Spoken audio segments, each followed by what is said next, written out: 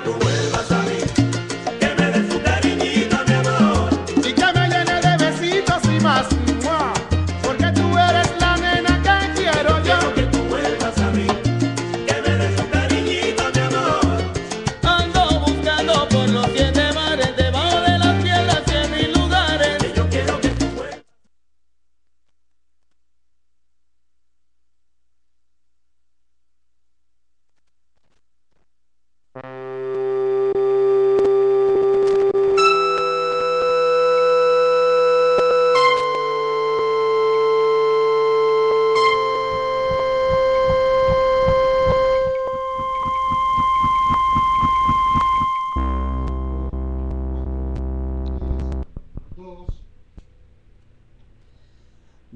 estamos ante ustedes, querido público de secundarias técnicas, queridos alumnos, queridos profesores. Por segunda ocasión venimos a hablar del español, de nuestra lengua como una herramienta necesaria para todas las asignaturas. Con nosotros quiero presentarles, con nosotros está la maestra Mabel Mosqueda Pulgarín, el profesor José Luis Fuentes Hernández y su servidor Pedro Godínez, para platicarles sobre el desarrollo de un proyecto que ordinariamente es un tanto difícil para los docentes realizarlo en el aula. Me refiero particularmente al segundo bloque de estudio del tercero de secundaria que se refiere a participar en debates sobre temas investigados previamente.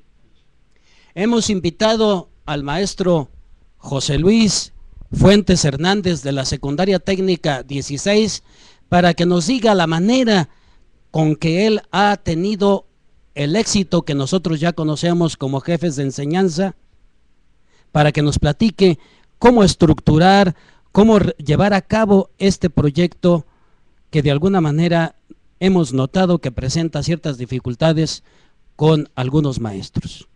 Maestro José Luis, tiene usted la palabra. Gracias, buenos días maestra, buenos días profesor, eh, al público que nos sigue en esta transmisión.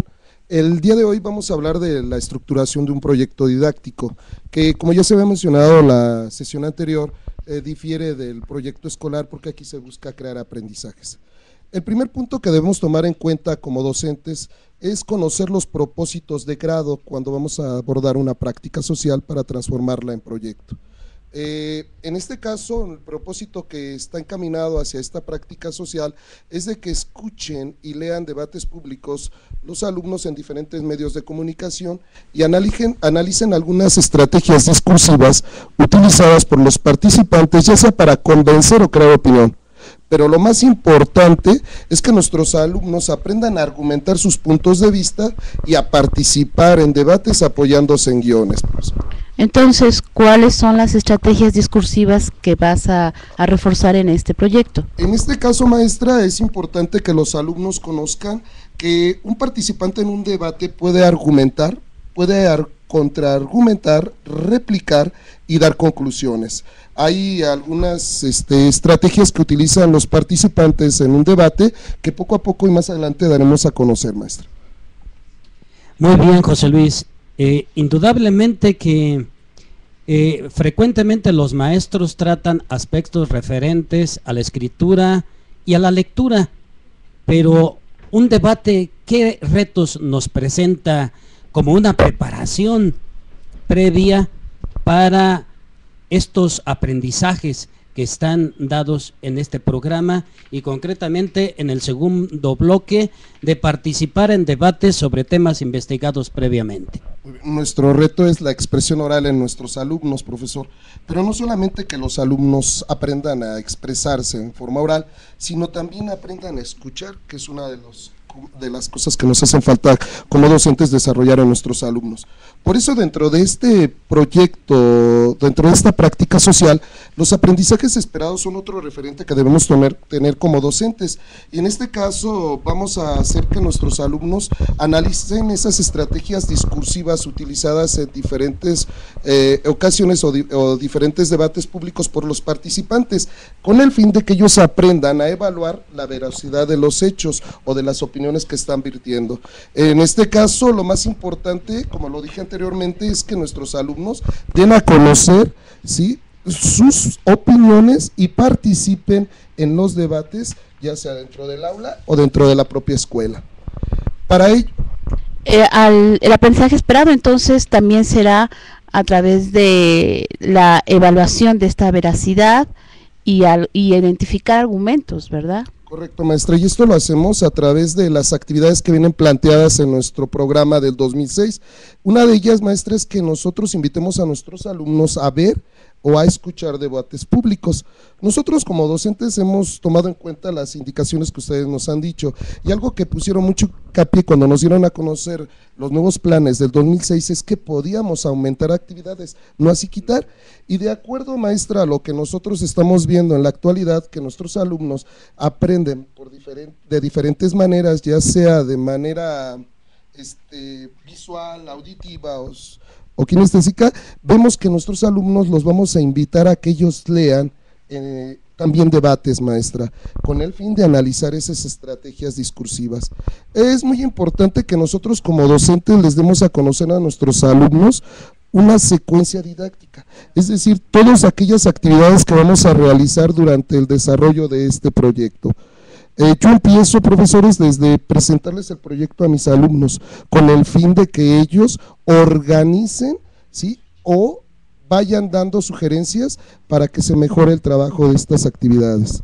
Naturalmente que esta secuencia didáctica ayuda mucho al maestro a hacer una planeación funcional para él, una organización adecuada, no para presentarla a una autoridad, sino para que Él vaya solidificando paso a paso en, los, en las diversas sesiones las situaciones que Él ha planteado en el papel, pero que tienen importancia en una secuencia didáctica que usted mencionaba, maestro.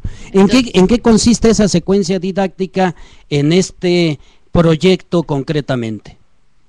Sí, ¿tú me podrías decir cuáles son los pasos entonces de esta secuencia? Muy bien, maestra. Esta secuencia didáctica, como decía el profesor, va a ser un referente para nosotros, pero principalmente también la utilizo como un referente para mis alumnos, que ellos sepan qué es lo que van a realizar durante el desarrollo de todo este proyecto. Por eso esta secuencia didáctica también se las doy a conocer a ellos. Esta secuencia didáctica va desde la presentación de mi proyecto, desde un diagnóstico que debemos elaborar o hacer con nuestros alumnos y partir de lo que ellos conocen y necesitan aprender sobre esta práctica social. En este caso van incluidas todas las actividades como sería el ver, leer o escuchar debates públicos, el analizar estrategias discursivas por parte de nuestros alumnos guiados por nosotros y el comparar la credibilidad de las versiones para detectar información contradictoria.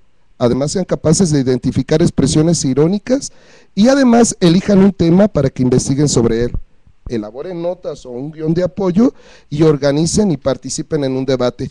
Esto es a grandes rasgos todo lo que nuestros alumnos van a desarrollar en el proyecto y que es la guía que les va a permitir llegar a buen éxito al final. Eh, ¿Cómo voy a empezar este proyecto? Yo decía que nuestro referente deben ser los conocimientos previos de nuestros alumnos. Teniendo ese referente, nosotros sabemos qué es lo que saben nuestros niños, pero también qué es lo que necesitan aprender. Partiendo de ahí, ya nosotros los invitamos a que vean, lean o escuchen un debate. ¿Cuál es la finalidad? Que ellos descubran quiénes participan en un debate, que ellos vean cuáles son los momentos que se van a vivir o van a desarrollarse en un debate. Y por último, ellos sean capaces de organizarse para desarrollar un debate. Esto lo vamos a lograr en la primera y segunda sesión. En mi tercera sesión yo los invito a mis alumnos a que ese debate que, leyeron les sirva a ellos para eh, verificar la credibilidad de los jóvenes, de, perdón, de los participantes dentro del debate. Y esa, eh, al verificarlo, yo voy a elaborar ahí una secuencia didáctica específica, que van a ser las herramientas, esos temas de reflexión, van a ser las herramientas que les voy a dar a mis alumnos para el manejo de la lengua. ¿Cuál es esa secuencia didáctica específica en esta tercera sesión? En esa tercera sesión es que deduzcan ellos a través de preguntas hechas por mí las diferentes formas que tienen los participantes de un debate para validar sus argumentos. Esto es importante, maestros. ¿Por qué? Porque para validar estas, estos datos, estos argumentos, todo participante puede utilizar ejemplos, citas, datos, e investigaciones o hasta su propia experiencia. ¿Por qué hincapié que es importante? Porque mis alumnos o los alumnos que tenemos nosotros como docentes es que ellos quieren participar en debates pero sin haber hecho una investigación previa. Entonces piensan que siempre tienen la razón. Y aquí les enseñamos que para poder participar en un debate debemos llevar ciertas bases, cierta información que ellos no pueden hablar nada más por hablar, sino tienen que sustentar sus dichos, sus hechos a través de esto. Esta es la importancia de los temas de reflexión en esta sesión, claro, porque son la parte que el maestro debe reforzar y debe vigilar. Muy bien, maestro. Y, y, que debemos tomar en cuenta que como maestro no podemos dejar o dar por hecho que ellos ya lo saben. Tenemos que verlo. Por eso decía el profesor Pedro la clase, la sesión pasada, perdón, este, que un proyecto nos permite anticipar problemas, pero también anticipar las posibles soluciones que les podemos dar como docentes. Y para eso nosotros elaboramos estas secuencias didácticas específicas. Oye, José Luis, eh, en este proyecto nos presenta una problemática que a veces los maestros no pueden llevar a cabo, que es el trabajo por equipo. O sea, eh, en el debate necesitan eh, priorizar este aspecto, ¿verdad? Este trabajo por equipo. ¿Cómo le haces tú en ese sentido para, para organizar los equipos dentro de este proyecto concretamente? Muy bien. el organizar, el trabajar por equipo requiere una organización previa. Y desde que yo trabajo por primera ocasión con mis alumnos por equipo, sentamos las bases y las reglas del mismo. Una de ellas es partir de que la regla principal del trabajo de equipos es que solamente puede hablar una persona a la vez. Esto nos permite que los alumnos vayan respetando los turnos al hablar. Así no estén de acuerdo, ellos tendrán que esperar su turno para poder replicarle a alguien.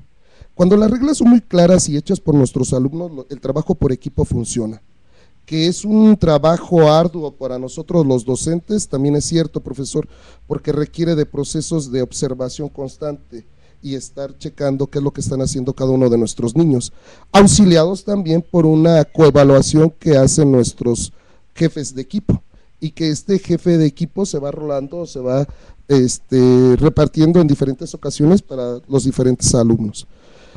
¿Cómo eliges entonces aquel alumno que tiene la habilidad o aquel alumno que tiene que desarrollar la habilidad para participar en el debate.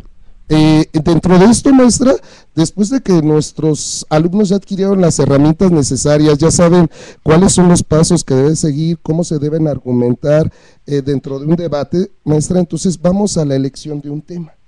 Dentro de esta elección del tema nos va a permitir que ellos vayan a la investigación del mismo. Ya que investigaron, maestra, definitivamente entonces vamos a darle el rol de diferentes formas dentro de los integrantes del equipo.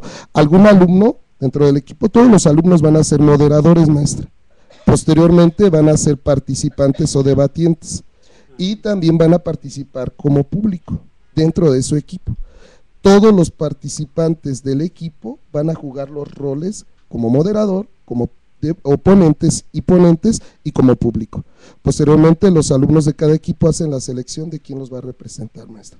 Pero aquí ya hubo una evaluación por parte del jefe de equipo. E, ese jefe de equipo te da información a ti, te, tú vas tomando alguna nota en algún lado o cómo le haces para también recabar esa información. E, esa información, profesor, se va recabando a través de instrumentos de evaluación. Ustedes fueron muy puntuales que para lograr la calidad educativa no solamente deberemos mejorar nuestras estrategias de aprendizaje, sino cambiar nuestra concepción de lo que es evaluar. Y a través de los proyectos nosotros podemos evaluar procesos y productos. Y el evaluar procesos nos va a permitir conocer el avance de cada uno de nuestros alumnos de acuerdo a los aprendizajes que él va adquiriendo. Eh, esta evaluación a través de esos instrumentos que va a tener nuestro jefe de equipo, pues nos va a permitir arrojar datos e información para que nosotros podamos evaluar. Pero aunado a esto va la observación cotidiana que nosotros estamos haciendo. Ahora, si estás evaluando procesos, ¿cómo lo conviertes en lista de cotejo? Eh, eh, para, para, por ejemplo, nosotros elaborar un instrumento de evaluación maestra, debemos tomar muy en cuenta los aprendizajes esperados, los propósitos de grado y las actividades planteadas dentro de nuestro programa de estudios 2006. Esto nos permite verificar que, qué es lo que va a aprender nuestros alumnos. Pero yo considero que lo más importante es que nuestros alumnos aprendan de dónde salen esos indicadores de evaluación. Por eso los invito a ellos a que constantemente elaboremos nuestros instrumentos de evaluación de manera conjunta tomando en cuenta esos aprendizajes esperados que también conocen mis alumnos, esas actividades que vienen dentro de la secuencia didáctica, ¿sí? para que los transformemos en indicadores de evaluación. Es importante, maestra, que cuando conocemos por primera ocasión a nuestros alumnos, hablemos de estos aspectos de evaluación desde las primeras clases, para que sepan nuestros alumnos qué es lo que van a hacer en, en determinado momento en el desarrollo de un proyecto. ¿Utilizas algún verbo específico para que se clarifique que ellos son los que se están autoevaluando? Correcto, maestra. Utilizamos tres formas de evaluación, que vendría siendo la autoevaluación, la coevaluación y la heteroevaluación. Cuando hablamos de autoevaluación, nuestros alumnos saben que los que se van a evaluar son ellos mismos. Yo cuando evalúo procesos normalmente sugiero que hagamos una autoevaluación. Esa autoevaluación ¿sí? me va a permitir a, este, trabajar con mis niños todos esos indicadores y ver cuál es su desarrollo, su desempeño durante el desarrollo de este proyecto. Eh, hago hincapié de que si es una autoevaluación, debemos conjugar los verbos en primera persona. ¿sí? Nosotros tenemos una, para yo evaluar este proyecto, maestra, hago una autoevaluación para evaluar el proceso. Eh, estos indicadores de evaluación a través de una lista de cotejo los hago o los redacto de manera conjunta. Ustedes fueron muy claros cuando nos hablaron de evaluación, que el que debe tener claro esos indicadores de evaluación son nuestros niños, nuestros jóvenes, los adolescentes, para que sepan ellos qué es lo que van a ir aprendiendo y qué es lo que van a ir evaluándose. Muy bien, José Luis. Aquí viene un breviario para eh, este, las escuelas hay muchísimas escuelas que están conectadas con nosotros, la 37, la 32, la 58, la 17, la 55, la 60, la 70, la 5, la 16, la 16, tu escuela. Está muy atenta, ¿eh? Saludos a todos. La 72, la 63, la 78, la 26, la 6, la 115, la 12, la 44, la 105, la 68, la 13, la 58, creo que ya la dije por ahí, la 97, la 105 de nuevo, y, y algunas eh, felicitaciones, por ejemplo, la 111, saludos de nuestra escuela, a los alumnos y profesores de español. Estamos presentes, están diciendo ellos. También la 13, felicidades al profesor José Luis. Ya tienes fans por allí, ¿eh, José Luis? y, también la 60, saludos a la, profesora Mabel, al profesor, a mí. Gracias por todo esto. Muchas gracias, muchas gracias. Creo que estamos también conectados todos y, y de anticipado te felicitamos por tu trabajo. Por, por, ¿Cuántos años tienes ya en este servicio, José Luis. Y dinos en qué nivel estás. Ah. bueno, afortunadamente tengo ya 28 años de servicio, profesor, que los hago con gusto. Comentábamos con la maestra y con usted el hecho de que la labor del profesor es una labor constante, eh, de atención constante a nuestros niños y este el trabajo por proyectos nos permite conocer el avance y el trabajo de cada uno de nuestros niños, de verdad a través de la observación directa, que ha sido una de las herramientas básicas que hemos tenido como docentes. Bien, José Luis, este, ya nos has hablado sobre evaluación, sobre el producto, sobre el proceso. Este, ¿A qué conclusiones podemos llegar para animar a nuestros compañeros maestros, por ejemplo, que tienen poquitos alumnos y no realizan a veces el trabajo, se les dificulta a veces por poco o por mucho? ¿En qué situación estás tú dentro de tu escuela? Eh, dentro de la escuela creo que todos los casos somos iguales en todas las diferentes instituciones que conforman nuestro sistema. Eh, aquí lo importante yo creo que es sentar las bases del trabajo cotidiano. El trabajo por proyectos nos permite un trabajo colaborativo, un trabajo en donde nosotros podemos ir dando o asignando diferentes responsabilidades a los miembros de un grupo. Cuando nosotros asignamos responsabilidades y hacemos sentir importante a nuestros niños, el trabajo es fructífero, hay resultados positivos. No se dan las cosas de la noche a la mañana, definitivamente. Esto es una labor constante, esto es una labor cotidiana, esto es reforzar constantemente lo que queremos y lo que pretendemos hacer con ellos. Eh, aquí me faltó decirles también, compañeros maestros que nos están sintonizando, que también se debe evaluar el producto. El producto en este caso sería la realización del debate por parte de nuestros niños. Como la maestra Mabel me preguntaba hace rato, ¿cómo le vas a hacer para que tus alumnos participen como moderadores, como ponentes o participantes dentro de un debate y también como un público, porque un público dentro de un debate también tiene, su, eh, parte, ¿no? Entonces yo le decía a la maestra que a través de una guía de observación le pido a mi jefe de equipo cada uno de los equipos que conformo, que ellos sean los que me vayan evaluando a través de indicadores de evaluación que, como dije en un principio, obtenemos maestros y alumnos. ¿De acuerdo?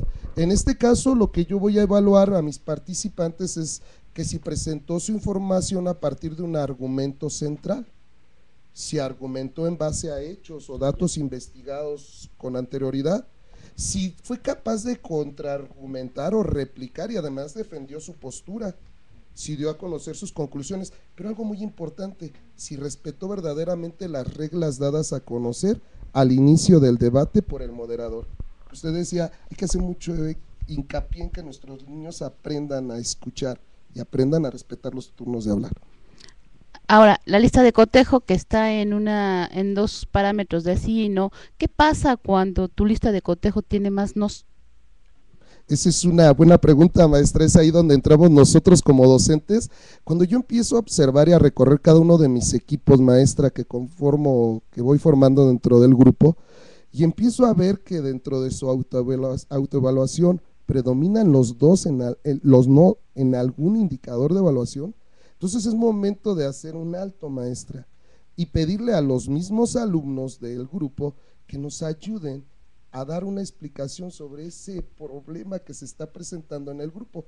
Vamos a hacer, eh, aquí en uno de mis indicadores de evaluación dice, identifiqué comentarios discriminatorios. A lo mejor muchos de mis alumnos no fueron capaces de identificarlos. Entonces les pido a los demás alumnos que nos digan en los debates que vimos, que escuchamos o que leímos, ¿sí? ¿Cuáles eran esos comentarios y dónde los encontraron y cómo los encontraron? Y entonces aquí despierto el interés de cada uno de ellos para poder ir venciendo esos problemas. Eh, por eso yo comentaba que es muy importante la observación, profesor, y las notas que nosotros vayamos tomando en un diario de clase, maestra, como ustedes nos han indicado.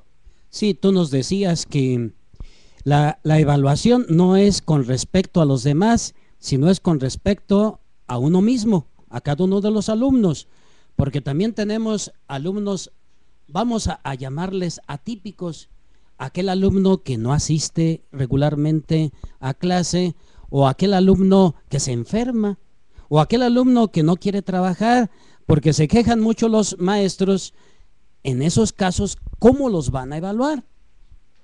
Aquí es importante que, que la práctica social que estamos trabajando, primero que nada, ofrezca un reto para ellos. Si ofrece un verdadero reto, entonces vamos a inmiscuir dentro del trabajo a nuestros niños. Por eso es una labor muy importante por parte del docente la presentación de este proyecto, el inmiscuirlos, el invitarlos, el, despertar en ellos esa necesidad de triunfar al final de este proyecto. Si nosotros no lo hacemos desde ahí, entonces estamos dejando a un lado a nuestros jóvenes que tienen ese tipo de problemas. Y la, motivación es fundamental dentro de esto. Entonces, ya que tenemos esto, sí es cierto, profesor, como todos los docentes nos enfrentamos a diferentes problemas dentro del aula, pero aquí nos compete a nosotros el ir resolviendo esta problemática. Eh, ahora con lo que es la educación inclusiva, tenemos que ver que cada uno de nuestros niños vaya aprendiendo de acuerdo a su ritmo, es cierto, pero tratarlos de inmiscuir en una dinámica grupal. ¿Y qué pasa con aquellos alumnos que no te cumplen con la investigación, que es el primer paso del, de, este proceso? ¿Qué pasa? ¿Qué haces? ¿Cómo lo resuelves? E, es una excelente pregunta. Mire, afortunadamente la Escuela Secundaria Técnica número 16 eh, nos brinda la posibilidad de darnos un aula por ciencia a cada uno de los maestros. Esto nos permite tener documentos, libros, eh, material, hacer uso del internet inalámbrico de la escuela, eh, compartirles ese material que ya tenemos dentro del aula, compartir nuestra computadora a ellos pero el problema es que no se queden ellos sin hacer nada, sino que sigan trabajando y que el trabajo o la falta de, ese, mm, de esa información no venga a ser un obstáculo dentro del desarrollo del proyecto. ¿Cómo no? Pues de esta manera, de esta manera todavía este, es conveniente, pues, queridos maestros, queridos alumnos y, público que nos escucha, de que ningún proyecto es pues tan difícil que no lo podamos este, instrumentar, que ningún eh, proyecto eh, es para nosotros un obstáculo, sino al contrario nos presenta una secuenciación de aspectos que los podemos tratar de una manera adecuada y que de esta manera, incluyendo a todos los alumnos, podemos llegar a un éxito en los productos y en el proceso. Muy bien, tenemos aquí enlaces con la técnica 13 que te dice que está muy completa tu planeación y tu secuencia y evaluación. La técnica 111 nos agradece que cada lunes fomenten el mejor aprendizaje sobre esta asignatura. De la técnica 16, nuevamente, saludos maestro profesor de todos, el segundo C. Nos da mucho orgullo que usted esté allí. Les agradezco mucho, niños. Un saludo. La técnica 44 valoramos este tema ya que es muy importante para la competencia comunicativa. Muy bien. Efectivamente es un tema que nos da mucho ah, material para trabajar.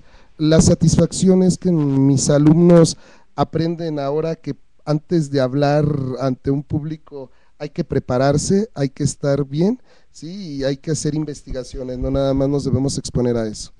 Pues te agradecemos muchísimo, José Luis, tanto la maestra Mabel como yo en esta ocasión, este, tan bella exposición y los argumentos que nos das para animar a nuestros compañeros maestros a dar un plus, valga la expresión, dar un plus a esta eh, eh, este, posibilidad de preparar lo más que podamos nuestros proyectos este, didácticos. Muchas gracias. Gracias a ustedes, un saludo. Hasta luego.